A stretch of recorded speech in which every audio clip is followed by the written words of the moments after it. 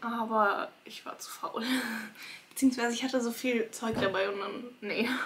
Und ja, ich glaube, da ist man gut aufgehoben hier. Ich habe zwar gerade erst gefrühstückt, aber super. Ich kann auch schon wieder essen. Jetzt gehe ich auf jeden Fall erstmal noch zu diesen zwei Sessions über die Kurswahl und hoffe, dass ich da noch ein bisschen was reißen kann. Ich gehe jetzt mal, ups, wow, Tür öffnen muss man können. Ich werde euch jetzt mal erzählen, so was ich für Classes letztendlich bekommen habe und nehme.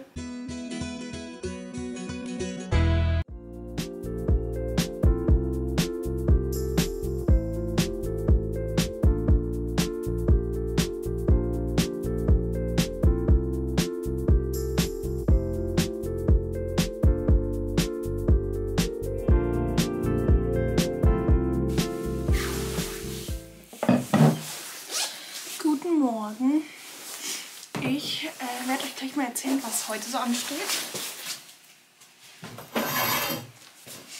Denn für heute ist einiges geplant. Und oh, es schneit so heftig draußen. Ich bin schon wieder komplett nass. Ähm, ja, also der Schneesturm, ich weiß nicht, habe ich das erzählt? Gestern war hier ein Schneesturm oder auch über Nacht und das, ich glaube, es geht immer noch. Aber die haben alles gut geräumt. Also man kann super laufen. Weil gestern Abend, als ich von der Pyjama-Party zurückgelaufen bin, ähm, also gestern Abend war noch so eine Pyjama-Party, wo wir im Prinzip Spiele gespielt haben wieder. Und das war wieder in dieser Dorm Hall, die 10 Minuten von hier ist. Und dann bin ich zurückgelaufen durch den tiefsten Schnee. Also, naja, so tief war es nicht, aber halt schon so. Und das war ein bisschen schwierig, weil da halt nichts geräumt war. Aber jetzt alles geräumt, also super. Und ja, heute steht wirklich viel auf dem Plan. Also ich schau mal. Ich war jetzt gerade frühstücken. Also wegen dem Essen will ich mich echt nicht beschweren. Es ist wirklich gut und ich glaube, es wird einfach nur noch besser, wenn jetzt dann es noch mehr Optionen gibt. Äh, die Essenspläne werden uns heute auch übrigens erklärt, damit man das mal versteht, weil es gibt irgendwie mehrere Dining Halls und bei einer ist das eher so restaurantmäßig und in der Clinton Hall, also wo ich immer hingehe, da ist es halt immer Buffet und ja, das wird uns auf jeden Fall heute noch erklärt. Und dann haben wir, oh, ich muss unbedingt meine ID-Card abholen. Ich wollte das eigentlich jetzt gerade machen, weil das eigentlich direkt über der Clinton Hall ist oder über der Dining Hall aber ich war zu faul. Beziehungsweise ich hatte so viel Zeug dabei und dann, nee, habe ich es nicht gemacht. Aber das mache ich heute auf jeden Fall noch. Und dann um 10.30 Uhr haben wir einen Vortrag über ähm, Acad Academic Expectations und Resources. Also ich glaube, da geht es einfach darum, was von uns erwartet wird, so im akademischen Sinne. Und ja, da werden wir auch unterteilt in äh, Students, die jetzt nur zu, für ein Semester da sind oder Students, die hier auch einen Abschluss machen wollen. Dann ist Lunch, also dieser Workshop über Academic Expectations und Resources, der geht ganz schön lange. Deshalb ja. Und danach haben wir einen Workshop über My Plattsburgh. Also das ist dieses Internetportal, was die nutzen, um halt alles zu organisieren. Und das wird uns heute erklärt. Und danach gibt es nochmal einen Vortrag über die Health Insurance, also was da alles drin ist, denke ich mal. So ähnlich wie wir gestern schon über Healthcare bekommen haben. Und danach ist der Vortrag über die Meal Plans, also wie das hier funktioniert. Da bin ich sehr gespannt drauf. Und danach ist dann ein äh, Treffen, glaube ich. Ob das, ich weiß nicht, ob das schon das Treffen ist mit der Campuspolizei hier, weil die haben, äh, die haben uns gesagt, dass wir auch irgendwann mal die Polizei treffen und uns über die Campus Safety eben noch was erklärt wird. Aber ich glaube, das ist das. Ähm, genau. Und heute Abend ist, glaube ich, wieder einfach Spiele, Group Activity, Spiele in der Hall, wo, wo wir jetzt auch die letzten zwei Abende waren. Genau, das ist so der Plan für heute. Und ja, es geht um 10.30 Uhr los und dann ist eigentlich alles durchgetaktet. Ich schau mal, wo ich euch so mitnehmen kann. Versuche ein bisschen was mitzufilmen. Und ja, dann hören wir uns später wieder.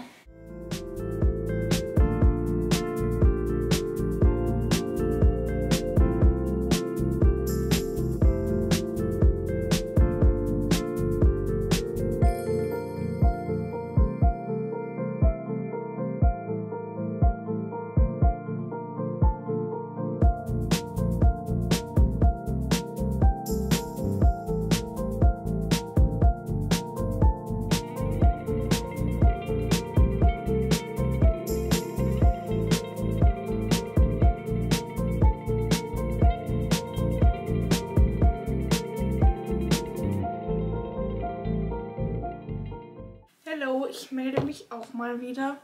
Bin jetzt wieder in meinem Dorm. Wir haben es 16.10 Uhr, ich hoffe man sieht's. Und ich bin todmüde. Ihr wisst nicht, wie müde ich bin. Irgendwie jetzt, es hittet schon immer am Ende des Tages die Müdigkeit. Später bin ich dann auch wieder wacher, aber jetzt gerade so am Nachmittag habe ich immer ein äh, Nachmittagstief. Ah. Ähm, aber ich komme jetzt von allen Vorträgen. Ist eigentlich alles für heute sozusagen geschafft, beziehungsweise nicht ganz. Aber wir hatten im Prinzip, wie ich schon erzählt habe, ich fasse nochmal ganz kurz zusammen, Vortrag über, ja, mit was hat es überhaupt angefangen? Also erstmal so ein Vortrag über die, was wir so belegen müssen, beziehungsweise was so die Anforderungen an uns Exchange Students sind, also akademischen Anforderungen. Da ging es halt darum, dass man nicht so Plagiate machen kann.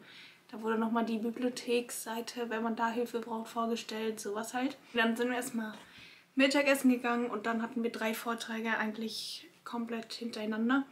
Und zwar einmal der Vortrag, mein Akku ist alle, ich muss ihn glaube ich kurz wechseln. Auf jeden Fall hatten wir eben drei Vorträge hintereinander. Einmal über My Plattsburgh, aber da wurde uns jetzt auch nicht so viel erklärt. Also ich weiß jetzt nicht so genau, wie es funktioniert, aber ich glaube, das findet man dann heraus. Dann äh, ein Vortrag über die Meal Plans. Im Prinzip hätte ich halt, weil ich, ich wusste mir gar nicht, was ich darüber vorstelle, äh, was ich mir darunter vorstellen kann, aber es gibt sozusagen drei Meal Plans und als Exchange Student kann man zwischen diesen drei Meal Plans auswählen, welchen man hat. Und als Freshman kann man allerdings nur, gibt es nur einen einzigen Mealplan, den man nehmen kann und den muss man sozusagen nehmen. Und der Unterschied zwischen den Mealplans ist, ähm, dass man halt eben, also es gibt sozusagen Swipes, wo man mit der Karte so äh, swiped und damit sozusagen bezahlt. Oder Dollars, also so, die heißen so was wie Dining Dollars heißen die, ähm, mit denen man bezahlen kann. Und es gibt sozusagen zwei Dining Halls und noch ganz viele so Cafés. Und in diesen Cafés muss man meistens mit Dining Dollars bezahlen und auch in der einen äh, in der einen Dining Hall, die heißt Sundowner, muss man auch mit, mit den ähm, Dining Dollars bezahlen. Aber es gibt auch, da gibt es auch Meals, wo man mit Swipes machen kann. Und Clinton Hall ist eben Swipes. Also, und der Freshman-Plan ist halt, dass man unendlich viele Swipes hat. Das heißt, man kann überall essen wo es man nur mit diesem, mit der Karte, mit den Swipes, halt mit seiner ID-Card, da einmal durchswipen muss, kann man alles umsonst essen. Und man hat eine bestimmte Anzahl an Dining Dollars. Bei mir sind das jetzt 95 Dollar, also diesen Freshman Plan. Das heißt, ich kann sozusagen wahrscheinlich neun bis zehn Mal mit, wenn ich jetzt in die Sundowner Dining Hall gehen würde, da essen, wisst ihr? Das ist halt, die Sundowner Dining Hall ist eher so restaurantmäßig, dass es da ein mexikanisches Restaurant gibt, indisches oder so. Also die hat jetzt auch noch nicht offen, von daher ich weiß noch nicht, wie das ist, aber ja, das ist sozusagen der Freshman Meal Plan, dass man unendlich viele Swipes hat. Und dann gibt es noch zwei andere Meal Plans, wo halt man dann mehr Dining Dollars hat, also mehr so halt mit den Dollars bezahlen muss und aber nur eine begrenzte Anzahl an Swipes hat. Und ja, da unterscheiden sich nochmal die beiden einfach in der Anzahl an die man an Swipes hat und Dining Dollars. Also ich weiß nicht, ob das jetzt verständlich war, aber so ist das auf jeden Fall das System hier. Und ich werde, ich, ich hätte jetzt die Möglichkeit auch noch zu wechseln und eben nicht unendliche Swipes zu haben, sondern dann mehr Dining Dollars, wenn ich halt jetzt mehr irgendwie ins, im Sundowner Dining Hall essen würde. Aber ich bin ja fein mit dem Essen in der Clinton Hall, von daher werde ich es auf jeden Fall bei dem Freshman Plan lassen weil ich dann einfach unendlich oft in die Clinton Hall gehen kann und einfach unendlich viel essen kann. Super! Und dann hatten wir noch ein, eine Session über die Health Insurance, was da alles mit drin ist. Da muss ich jetzt auch gleich nochmal diese App runterladen, damit ich die Karte immer bei mir habe, weil wir die nur in Papierformat bekommen haben. Also unsere Health Insurance Karte. Und ja, damit man die einfach dabei hat, werde ich jetzt mal an mein Handy tun. Und dann ähm, haben wir noch einen Vortrag von der Police, also von der UP, University Police. Da war einer da und hat gesagt, was die so halt an Services anbieten. Und die bieten auch recht viele Services an. Also zum Beispiel auch wenn man irgendwie in der Library noch bis, keine Ahnung, ganz spät nachts ist, kann man sogar sich ein äh, eine Begleitperson sozusagen buchen oder kann man da auf jeden Fall anrufen und sagen, so, ja, ich traue mich jetzt nicht, da zu meiner äh, ähm, Dorm Hall zu gehen und dann begleiten die einen sogar, äh, einen sogar oder fahren einen sogar dahin. Also das ist echt nicht schlecht. Und ja, ich glaube, da ist man gut aufgehoben hier. Ich hatte aber auf jeden Fall Spaß bei den Vorträgen. Ich mache jetzt auch immer mehr mit den Franzosen. Also es gibt so vier oder fünf Franzosen, die auch Exchange Students sind.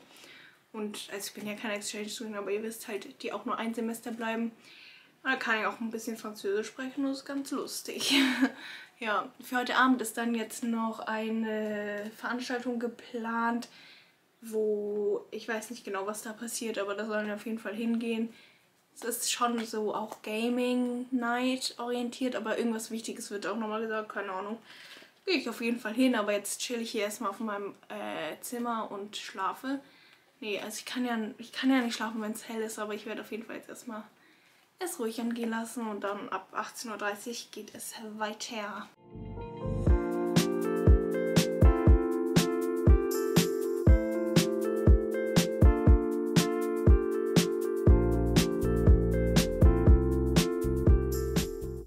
Guten Morgen. Wir haben Freitag, letzter Tag der Orientation Week. Und ich habe heute auch gar nicht so viele Veranstaltungen mehr, weil vieles jetzt eigentlich nur für die Studenten ist, die hier länger bleiben als ein Semester. Ähm, deshalb war ich jetzt auch nicht bei der ersten Session, sondern gehe jetzt zur zweiten, wo wir unser I20-Formular mitbringen sollen. Ähm, also bin ich mal gespannt, was die uns dazu nochmal sagen. Ich denke mal, dass es ums Reisen gehen wird, dass man halt da unterschreiben lassen muss, wenn man aus der USA oder aus New York, glaube ich sogar schon ausreißt. Ja, und danach ist, denke ich, auch schon wieder Mittagessenzeit. Ich habe zwar gerade erst gefrühstückt, aber super. Ich kann auch schon wieder essen. ähm, genau, das mal jetzt. Und das Wetter ist heute mal so schön. Schaut euch das an. Einfach die Sonne scheint und der Schnee. Und ja, sehr schön.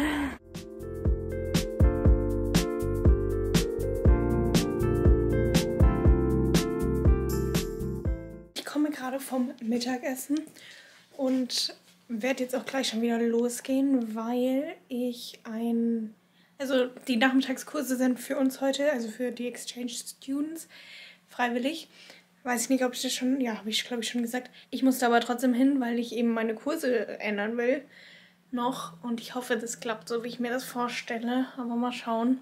Ich werde auf jeden Fall euch danach dann berichten, welche Kurse ich jetzt dann final habe und wie mein Weekly Schedule aussehen wird. Ja, ähm, ich bin gespannt. Ich hoffe, das klappt alles, wie ich mir das vorstelle. Weil zurzeit ist mein Weekly Schedule echt nicht gut. Hm. Ähm, ja, und dann muss ich mich halt auch darum kümmern, dass ich alle Bücher zusammen bekomme, die man dafür braucht. Das ist so teuer hier, diese Bücher. Wow. Ich werde schauen, ob ich die in der Bibliothek ausleihen kann oder on, äh, als Online-Version für ein paar Tage, also für 100 Tage oder so kaufen kann dann ist es immerhin meistens schon günstiger. Aber we will see. Ähm, ja, jetzt gehe ich auf jeden Fall erstmal noch zu diesen zwei Sessions über die Kurswahl und hoffe, dass ich da noch ein bisschen was reißen kann. Danach ist noch ein Community Dinner. Eben, das habe ich ja auch schon gesagt, glaube ich. Weiß ich nicht, warum ich. Sorry, wenn ich mich irgendwie wiederhole. Ich vergesse in letzter Zeit so viel.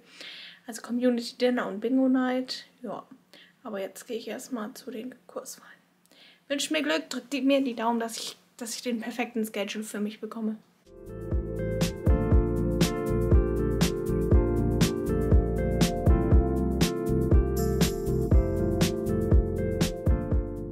Kurse sind erfolgreich äh, gechanged. Ist jetzt vielleicht nicht so, wie ich so zu 100% wollte, aber ich finde es auf jeden Fall okay. Ich, äh, ich gehe jetzt mal, ups, wow, Tür öffnen muss man können. Ich gehe jetzt gleich mal zurück in meinen Dorm und dann erzähle ich euch genauer, was für... Oh, oh mein Gott, Stufe. Ja, laufen. Multitasking-fähig bin ich auf jeden Fall nicht. Nein, Spaß. Also ich gehe jetzt zurück zu meinem Dorm und dann erzähle ich euch mal ganz in Ruhe, was für Kurse ich jetzt belegen werde. Ja. Ich bin zurück in meinem Dorm und ich werde euch jetzt mal erzählen, so was ich für Classes letztendlich bekommen habe und nehme. Also, ich stelle euch einfach erstmal die Classes vor, die ich habe. Ich habe die ja schon mal genannt. Ich werde es jetzt hier, ich versuche es kurz zu halten, wisst ihr? Also ich habe einmal Psychology, also General Psychology, das ist so der Einführungskurs in Psychologie. Dann habe ich Nutrition und Wellbeing, also die beiden sind gleich geblieben. Und auch der Theaterkurs ist noch auf meinem Schedule. ja, der ist auch gleich geblieben. Und ja, dann hatte ich ja das Problem, dass ich 14 Credits hatte und eben noch Spanisch hatte und diesen ähm, Personal Training Kurs. Jetzt habe ich mich dazu entschieden, weil es einfach nur sehr, sehr wenige One-Credit-Kurse gibt, die mich so interessieren, beziehungsweise die an einem Donnerstag und Dienstag sind und nicht an einem Freitag, habe ich mich dazu entschieden, den Spanischkurs zu droppen und auch diesen Advanced-Kurs in Personal Training, weil hätte ich jetzt nur den Spanischkurs gedroppt, dann hätte ich ja einen Ein-Credit-Kurs gebraucht und das wäre schwierig gewesen, weil, also dann hätte ich einfach im Endeffekt viel mehr Stunden pro Woche gehabt, weil jeder Ein-Credit-Kurs, den ich so gesehen habe, der war zweimal die Woche über eineinviertel Stunden. Und ich dachte mir so, jo, für ein Credit zweimal die Woche eineinviertel Stunden oder eineinhalb Stunden da zu sitzen, nee, das sehe ich nicht ein. Und deshalb habe ich mir dann gedacht, dann droppe ich den auch. Ähm, dann, damit ich wieder auf 9 Credits bin. Und dann nehme ich noch eine andere 3 Credits Class. Ja, also ich dachte mir, das ist einfach besser für mich. Und deshalb habe ich jetzt eben diesen Personal Training Kurs gedroppt und habe stattdessen Introduction to Gender and Women's Studies genommen. Das klingt doch auch ganz interessant. Und das ist eben auch nur Dienstag und Donnerstag. Und somit habe ich jetzt den Freitag eben frei. Also, nee, Spaß. Was für... Ich laber schon wieder so eine Kacke. Nein, ich habe den Freitag nicht frei. Ich habe eben meinen Psychologiekurs da bis 9.50 Uhr. Aber dann habe ich frei. Und ich habe jetzt generell auch nur montags und freitags einen Kurs, also eine Class, und zwar eben Psychologie und dann frei und Dienstag und Donnerstag habe ich dann immer drei Classes, also die anderen drei Classes eben. Ja, aber da auch am Morgen zwei Classes und dann am Abend den Theater, die Theaterclass. So sieht's aus. Und ja, ansonsten ist Montag, Freitag, Mittwoch ziemlich frei, muss man sagen. Ich hoffe, das war jetzt die richtige Entscheidung und ich hoffe, ich bin damit zufrieden jetzt. Ähm, ja, ich muss mir das nochmal überlegen, aber ich glaube schon, dass ich damit zufrieden bin. Und ja, das wird supi. Und jetzt werde ich mh, mm, noch ein bisschen hier chillen. Ich habe überlegt, ob ich vielleicht nochmal rausgehe und mal an diesen Fluss spaziere, weil es da echt schön sein soll. Aber mal schauen, was ich jetzt noch so mache. Und das war es dann tatsächlich auch schon mit der Orientation Week. Also klar, wir haben noch diese Dinner- und Bingo-Night heute Abend, aber das Wochenende haben wir frei. Und ich denke, morgen wird mein Roommate hier auch ankommen und dann wird es eh alles ein bisschen anders, glaube ich. Auch wenn jetzt hier die ganzen Students arriven, weil ich bin tatsächlich in der größten Dorm Hall. Das ist hier, glaube ich, zehn Stockwerke hoch oder so und hat schon gut, schon gut viele Studenten, die hier wohnen. Ja, und deshalb wollte ich an dieser Stelle auch das Video beenden. Ich hoffe, es hat euch gefallen, dass ich euch so ein bisschen durch meine Orientation Week als internationale Studentin hier in den USA mitgenommen habe. Und ja, ich bin excited auf den Start des Semesters, erster Tag von Classes. Ähm, ja, das, das ist dann am Montag und dann wird es hier, glaube ich, auch nochmal wirklich sehr viel anders, weil sie jetzt halt sehr ruhig war. Es hatten voll wenige Gebäude auch offen und ja, I'm excited. Ich hoffe ihr auch und äh, folgt mir gerne auf Instagram und TikTok falls ihr das noch nicht habt. Ähm, da gibt es auch Daily Updates. Und ansonsten würde ich sagen, sehen wir uns nächste Woche wieder. Ich wünsche euch einen schönen Morgen, Abend, Nachmittag, was auch immer. Bis zum nächsten Mal. Tschüss!